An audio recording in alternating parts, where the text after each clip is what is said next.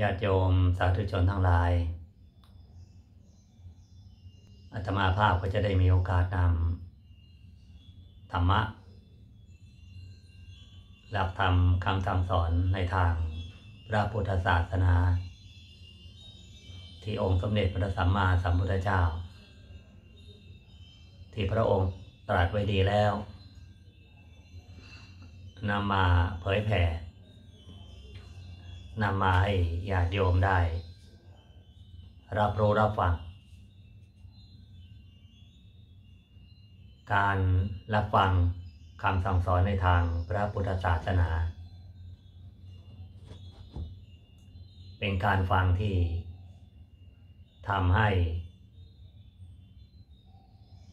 เรามีความคิด หรือว่ามีแนวทาง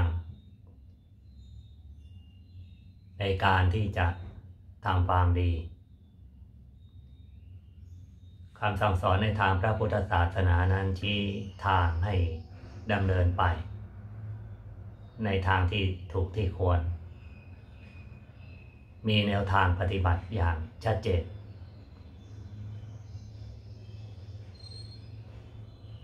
คำสั่งสอนในทางพระพุทธศาสนานั้นเป็นขั้นเป็นตอน ตั้งแต่พื้นจนกระทั่งไล่ระดับขึ้นไปสูงขึ้นเรื่อยๆ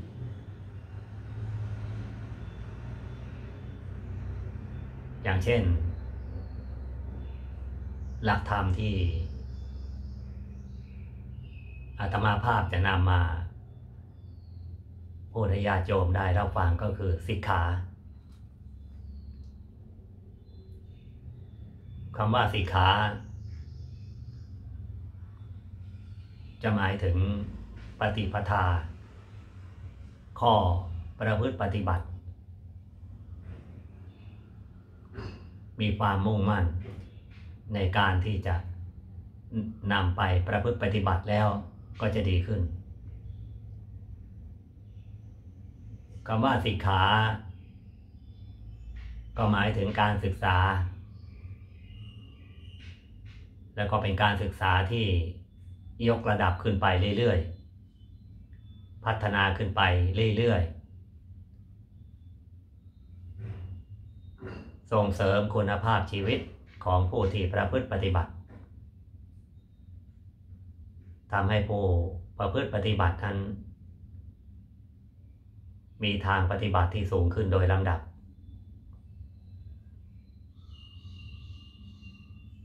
ในประการแรกก็คือ อธิศีลสิกขาศีลสิกขาคือข้อปฏิบัติที่ พระพุทธเจ้าทรงบัญญัติไว้แต่คำว่าสิกขาที่เราเรียกกัน เป็นสิกขาบทก็คือ 9 หรือว่าขั้นตอนของการศึกษาถ้าคนสามารถที่จะควบคุมได้ปฏิบัติได้ ก็จะควบคุมในเรื่องของกายในเรื่องของวาจา ไม่ให้กระทำที่ผิด ไม่ให้ไปเบียดเบียนผู้อื่น ไม่ว่าการกระทำหรือว่าการพูดนั้น จะไม่เบียดเบียนตนเองและก็ผู้อื่น ไม่มีการที่จะทำให้ผู้อื่น เดือดเนื้อร้อนใจ เป็นการรักษามารยาททางกายทางวาจาให้เรียบร้อย อยู่ในอาการที่สงบไม่ให้มีโทษ จัดเป็นศีลสิกขา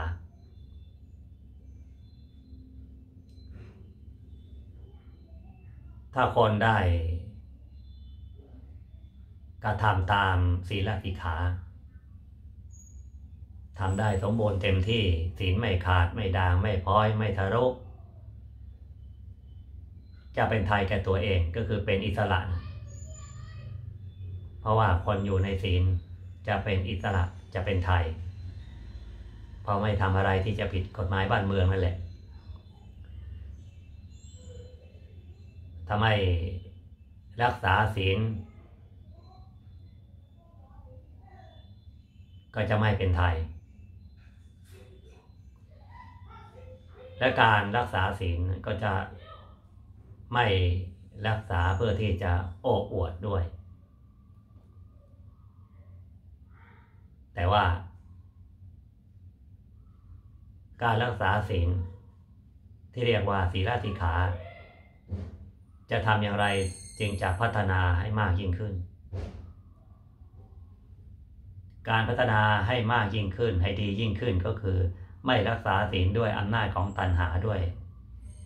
อำนาจของมานะ ไม่ได้เข้าไปรับศีล สมาทานศีลแล้วก็ไปโอ้อวด ไปว่าผู้อื่นว่า ไม่รับศีลไม่มีศีลอย่างนี้เป็นต้น แต่ว่าการที่คนเรามีศีลแล้วเนี่ย มีศีลที่ดี มีศีลที่จะพัฒนาให้สูงขึ้น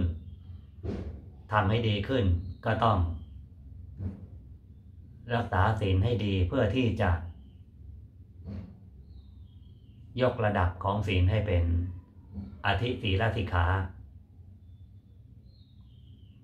สิกขาคือศีลอันยิ่งทำให้สมบูรณ์ทำให้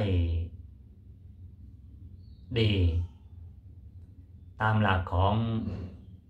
อริยมรรคสามข้อก็คือสัมมาวาจาโพจาชอบสัมมากรรมตะการงานชอบ สัมมาอาชีวะเลี้ยงชีพชอบถ้ารักษาศีลยกระดับไปอย่างนั้นได้ ก็จะเรียกว่าอธิศีลติขา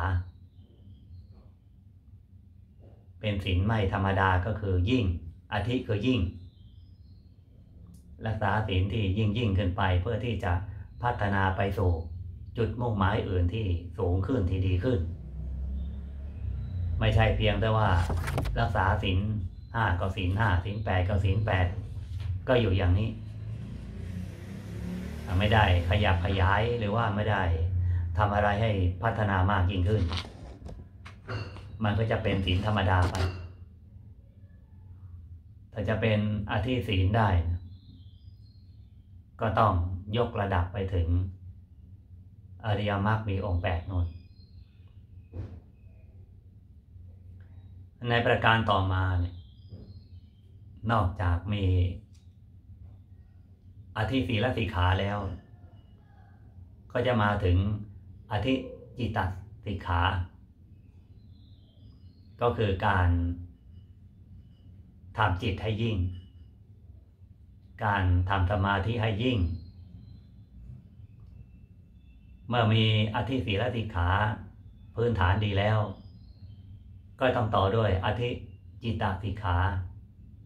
ทำจิตให้ยิ่งขึ้นไป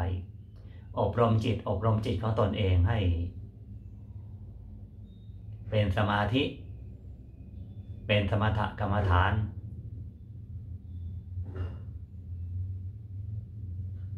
อธิจิตตสิกขาเมื่อทำสมาธิ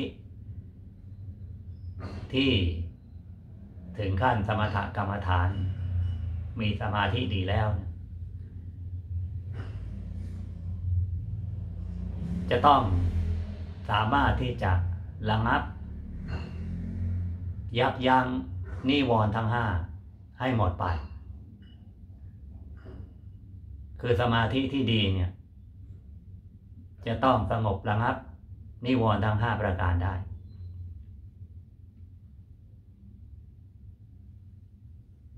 มีกามาฉันทะ มีอุทะกุกุจักคือไม่ให้จิตฟุ้งซ่าน ไม่ให้จิตไหลไปในอารมณ์ที่จะนำพาไปสู่กิเลสตัณหาทำจิตให้สงบ สมถกรรมฐานที่ในขั้นของอธิจิตติขานก็คือได้สมาธิที่แน่วแน่ ได้ทำสมาธิแล้วเนี่ย ก็ทำได้ต่อเนื่องกำหนดได้ต่อเนื่อง ได้สมาธิอยู่ได้นาน ขับไล่ความง่วงเหงาเหานอนได้ ถ้าตราบใดยังขับไล่ความง่วงเหงาเหานอนไม่ได้ พอนั่งสมาธิก็โง่ง่วง โอนเอ็นไปโอนเอ็นมา บางทีก็ หลับ หลับไม่พอก็โกรนอีก ก็เลย ไปไกลเลยทีนี้ ไม่ใช่อธิจิตตสิกขา ราะว่าอธิจิตตสิขาจะต้องมีการพัฒนาสมาธิ ให้ดียิ่งยิ่งขึ้น การที่จะทำให้ สมบูรณ์ได้เนี่ยก็ต้อง มีอริยมรรคสามข้อในอธิจิตตสิกขา ก็คือสัมมาวายามะพยายามชอบ มีความพยายามมีความตั้งใจ ไม่ท้อไม่ย่อไม่ย่อนสัมมาสติมีความระลึกชอบ ระลึกกำหนดในอารมณ์ปัจจุบันสัมมาสมาธิตั้งใจมั่นชอบ มีสมาธิที่มั่นคง ในถ้าทำได้ก็เป็น อธิจิตตติขา พอได้อธิศีลติขาอธิจิตตติขาแล้ว ทีนี้ก็จะนำไปสู่อธิปัญญาสิกขา ก็ต้องอาศัยศีลสมาธิทำให้จิตของตนเองนั้นมีความสงบเป็นลำดับมา เกิด ปัญญาเป็น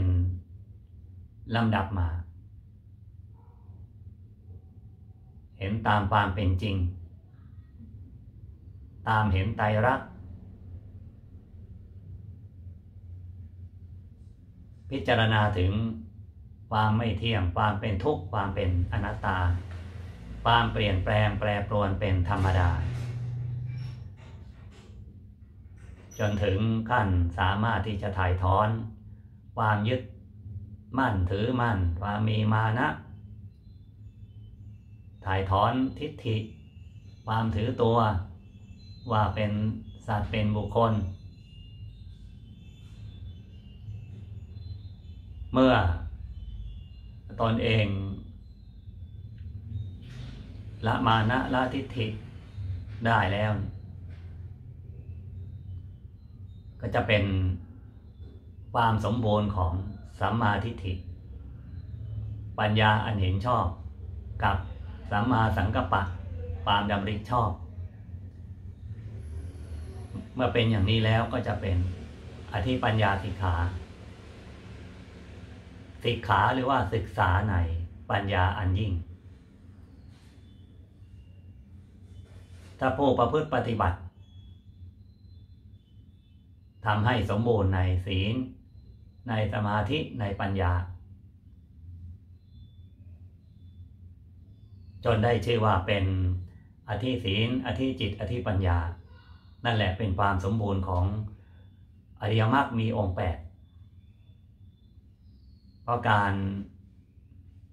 รักษาศีลการเจริญจิตภาวนาการเจริญปัญญา ก็ต้องตามอริยมรรคมีองค์แปด ที่จะเป็นอธิศีลติขา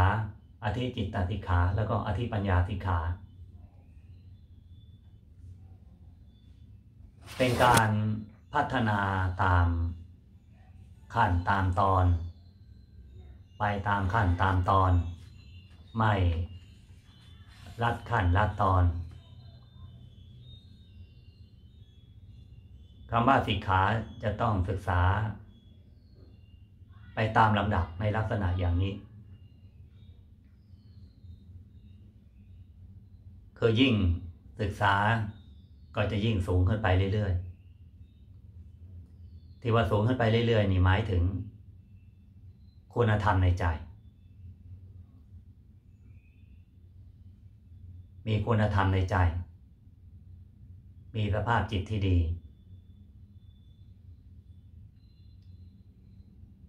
คำสั่งสอนในทางพระพุทธศาสนา จะเป็นเรื่องของการพัฒนาคือยกระดับขึ้นไปเรื่อยๆ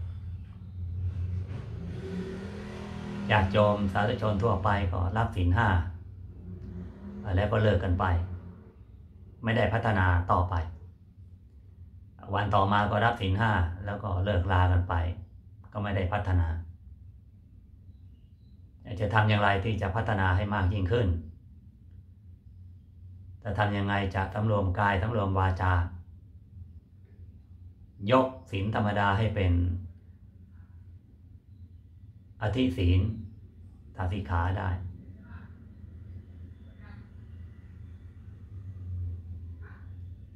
ในเรื่องของการทำสมาธิก็เหมือนกัน ไม่ใช่ว่า เขาให้ทำสมาธิก็ทำไป วันต่อมาทำอย่างไรก็ทำอย่างนั้น ไม่ได้พัฒนา เพราะว่าการพัฒนาก็คือการที่เราจะต้องตั้งใจ ต้องบากบันต้องมานะ ต้องอดทน จนฝ่าจะบรรลุผลสำเร็จพ อมาถึงอธิปัญญาสิกขา ก็เป็นเรื่องจะต้องรู้ตามสภาพตามความเป็นจริง ในสรรพสิ่งทั้งหลาย รวมทั้งตัวเรา